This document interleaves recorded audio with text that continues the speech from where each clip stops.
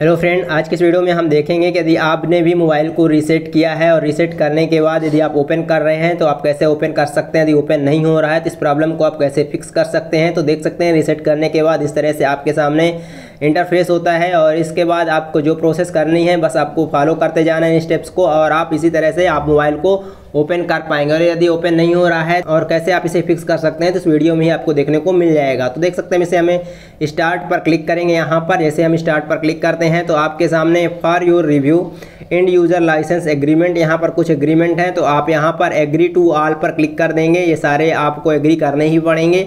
क्योंकि तभी आप इसको जो है आगे बढ़ पाएँगे। देख सकते हैं, आप एग्री पर क्लिक करेंगे यहाँ पे। अब जैसे यहाँ पर एग्री पर क्लिक करते हैं तो permission for Samsung app and service हमारा फ़ोन सैमसंग का है। तो दोस्त, यहाँ पर आप देख सकते हैं, कुछ ऐप एंड सर्विस की जो है तो परमिशन के लिए आप एग्री बोल रहा है एग्री करने के लिए। तो हम इसको एग्री करेंगे यहाँ पर। तो दोस्त, यहाँ पर आप देख सकते हैं, इस तरह से इंटरफेस आ जाता है। तो दोस्त, यहाँ पर ऑलरेडी हमारा मोबाइल डाटा ऑन है तो हम यहाँ पर देख सकते हैं, यहाँ पर जस्ट इसको स्किप कर देते हैं, यहाँ पर इसको स्किप कर देंगे। अदरवाइज़ आप वाईफाई भी कनेक्ट कर सकते हैं किसी दूसरे डिवाइस से, अगर आपको यहाँ पर मोबाइल डाटा नहीं होता तो ठीक है?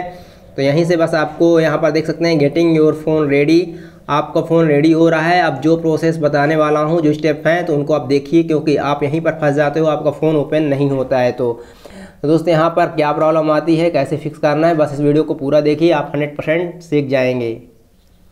देख सकते हैं, यहाँ पे लिखा कॉपी एप्स एंड डाटा तो यहाँ पर आप डोंट कॉपी भी कर सकते हैं, अथवा नेक्स्ट भी करके आप कॉपी कर सकते हैं। तो यहाँ पर देख सकते हैं, दूसरे फ़ोन का डाटा इस पर भी ला सकते हैं, जो भी कॉपी करना हो। यहाँ पर नेक्स्ट करेंगे। यूज़ योर ओल्ड डिवाइस अपने पुराने फ़ोन को यूज़ करके इस, आप अपने नए फ़ोन में जो है तो दोस्त अपने जो डाटा कॉपी कर सकते हैं। हमारे पास कोई ओल्ड डिवाइस नहीं है तो हम यहाँ पे कांट यूज़ ओल्ड डिवाइस पर हम क्लिक करेंगे। अब दोस्त यहाँ पर देख सकते हैं चेकिंग इन्फॉर्मेशन का ऑप्शन आ रहा है। अब यहाँ पर जो चेक कर रहा है इसे चेक करने देंगे, क्योंकि यहाँ पे आपका गूगल अकाउंट शायद वेरीफाइड करेगा, यानी जी मेल आपको वेरीफाइड करेगा उसके बाद ही आपको आगे भेजेगा। तो हम देखेंगे क्या करना है। आप यहाँ पर आप देख सकते हैं with your Google account email अथवा फ़ोन नंबर आप डालिए, उसके बाद आप पासवर्ड डालिए, उसके बाद आप आगे बढ़िए। अब दोस्त, यहीं पर आप फंसते हैं ईमेल अथवा फ़ोन नंबर डालते टाइम तो दोस्त, यहाँ पर हम इसकी जो प्रोसेस है ईमेल अथवा फ़ोन नंबर डालने की, और दोस्त, आप पासवर्ड भूल जाते हैं कभी कभी या पासवर्ड भूल जाते हैं पासवर्ड गलत इनकरेक्ट बताता है ईमेल इनकरेक्ट बताता है तो कैसे आप इस प्रॉब्लम को फिक्स करेंगे? रीसेट के बाद आप ईमेल का पासवर्ड कैसे पता कर सकते हैं? इस पर हमारा न्यू टॉपिक का जो वीडियो है इन स्क्रीन पर आपको मिल जाएगा। आज की इस वीडियो में हम अपना मेल आईडी वेरीफाइड नहीं करेंगे अपने फ़ोन में। यहाँ पर हम बस इसे स्किप करके अपने फ़ोन पे लॉगिन सीधे कर जाएँगे। अब दोस्त, कोई भी एप्लीकेशन सभी ऑपरेट होगी like play store YouTube Instagram Facebook कुछ भी आप ऑपरेट करेंगे तो वहाँ पे आपके मोबाइल में ये स्टेप कंप्लीट होना चाहिए। यानी मेल आईडी से आपका लॉगिन होना चाहिए आपका फ़ोन क्योंकि एक मेल आईडी से ही आपका फ़ोन ऑपरेट होता है। तो दोस्त, हम मेल आईडी डालेंगे। मेल आईडी का पासवर्ड भूल जाते हैं तो उसको पता करने की प्रोसेस भी देखेंगे बट इस वीडियो में नहीं। इस वीडियो के एंड स्क्रीन में आपको वीडियो मिल जाएगा कि कैसे आप दोस्त अपना जो है मेल आईडी डालते हैं, किस तरह से आप मेल आईडी डालकर इसको आगे बढ़ सकते हैं। तो दोस्त, इस इस वीडियो में हम इसको स्किप कर देते हैं और स्किप करने के बाद जो प्रोसेस है तो आप देख सकते हैं, यहाँ पर हम स्किप कर देते हैं। तो दोस्त, यहाँ पर आप देख सकते हैं, हम इसको स्किप करेंगे इस तरह से। और स्किप करने के बाद आपके सामने इस तरह से इंटरफेस आता है गूगल सर्विसेज़ की। तो गूगल सर्विसेज़ जो है तो यहाँ पर आप इसे एक्सेप्ट करेंगे इस पॉलिसी को। गूगल की पॉलिसी है तो एक्सेप्ट करना ही पड़ेगा। आप दोस्तों, यहाँ पर आप पैटर्न पिन पासवर्ड चूज़ कर सकते हैं। तो यहाँ पर हम पैटर्न लगा लेते हैं, देख सकते हैं। यहाँ पर हम पैटर्न अपना लगा देते हैं और नेक्स्ट करेंगे। और यहाँ पर फिर से पैटर्न लगा देते हैं और इसे कन्फर्म करेंगे। तो दोस्त, यहाँ पर देख सकते हैं पैटर्न हमारा लग गया है। अब यहाँ पर पैटर्न लगने के बाद रिव्यू एडिशनल ऐप तो यहाँ पर हम ओके कर देंगे। कोई दिक्कत नहीं है। गेटिंग योर फ़ोन रेडी अब आपका फ़ोन रेडी होने वाला है। बस इस वीडियो को पूरा देखिए। यहाँ पर दोस्त हमने केवल मेल आईडी नहीं डाला है। उसको हम देखेंगे क्योंकि हमारा पासवर्ड भूल गया है। तो रीसेट के बाद आप पासवर्ड भूल जाते हो। कुछ भी हो जाता है ऐसा तो आप उसे रिकवर कैसे कर सकते हो? किस तरह से आप पासवर्ड पता कर सकते हो? इस टॉपिक पर ऑलरेडी हम वीडियो बनाएँगे। आपको इंड स्क्रीन पर मिल जाएगा। तो आप देख लीजिएगा। यहाँ पर आप, यहाँ पर नेक्स्ट कर देंगे। अदरवाइज़ आप यहाँ पर इसको बैक भी कर सकते थे। देख सकते हैं। तो इंटर फ़ोन नंबर अथवा ईमेल आईडी तो reset your setting sync apps तो दोस्तों, यहाँ पर आप सैमसंग अकाउंट इंटर करने के लिए बोल रहा है तो हम कोई भी अकाउंट इंटर नहीं करने वाले हैं। हम सबको इन सभी स्टेप्स को हम बाद में करेंगे तो हम इसको स्किप कर देते हैं स्किप कर देते हैं यहाँ पे। दोस्तों, यहाँ पर देख सकते हैं you are all set up finish करते हैं यहाँ पे।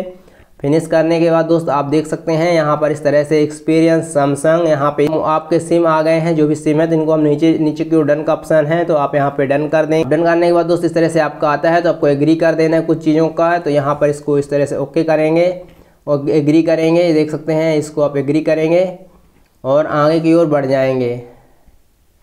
यहाँ पर आप देख सकते हैं, यहाँ पर जस्ट थोड़ा सा लोड ले रहा है, आप यहाँ पे इंग्लिश चूज़ करेंगे अदरवाइज़ आप इसे कट भी कर सकते हैं, देख सकते हैं, इसे आप यहाँ पर कंटिन्यू कर सकते हैं इस तरह से। यहाँ पर देख सकते हैं नेक्स्ट कर सकते हैं अदरवाइज़ स्किप भी कर सकते हैं स्किप कर सकते हैं। अब यहाँ पे ऑप्टिमाइजिंग ऐप रिकमेंडेशंस पूछ रहा है डिस्कवर इंस्टॉल्स ग्रेट ऐप्स तो दोस्त, यहाँ पर आप इसे इंस्टॉल पर इंस्टॉल में कुछ नहीं करना है तो इस तरह से आप बैक करेंगे और कंटिन्यू करेंगे, देख सकते हैं। वहीं पर हमें फिर से ला रहा है। बार बार तो इसको आपको इंस्टॉल करने के लिए बोल रहा है तो हम इंस्टॉल तो नहीं करने वाले हैं इनको। रिकमेंडेड ऐप है। इंस्टॉल करने के लिए बोल रहा है तो मैंने नहीं करेंगे क्योंकि हमारा डाटा नहीं है इतना ज़्यादा कि हम इसे नहीं इंस्टॉल कर पाएँ। इसको बैक करेंगे। देख सकते हैं दोस्तों, वहाँ पे हमने इंस्टॉल पर क्लिक किया था तो यहाँ पे आल डन पर ऑप्शन आ रहा है, यहाँ पे फिनिश करेंगे।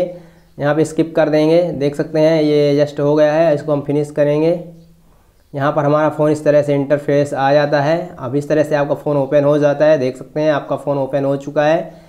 यहाँ पर आप देख सकते हैं जस्ट ये आपका फ़ोन ओपन हो गया। आप चाहें तो डाटा बंद भी कर सकते हैं। यदि आप डाटा बंद कर देंगे तो और अनदर चीज़ें आपकी इस पर नहीं आएँगी, फालतू की चीज़ें तो यहाँ पर डाटा बंद कर दीजिए। वाईफाई बंद कर दीजिए। ब्लूटूथ ऑटो रोटेट सब बंद कर दीजिए। अब यहाँ पर वैसे आप चाहें तो ना भी बंद करें बट बंद करेंगे तो आपके लिए बेहतर होगा। फालतू की चीज़ें नहीं चलेंगी तो यहाँ पर डोंट शो अगेन पर क्लिक करेंगे।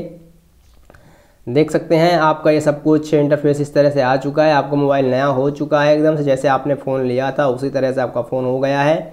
अब दोस्त, यदि आपका मोबाइल ओपन नहीं हो रहा है, यदि आपके भी फ़ोन में इस तरह से इंटरफेस आ रहा है रीसेट करने के बाद सैमसंग फ़ोन में, इस तरह से कोई भी अप्लीकेशंस ओपन नहीं हो रही, इस तरह से आ रही लिख के और इंस्टॉल नहीं हो रही तो ऐसा क्यों हो रहा है?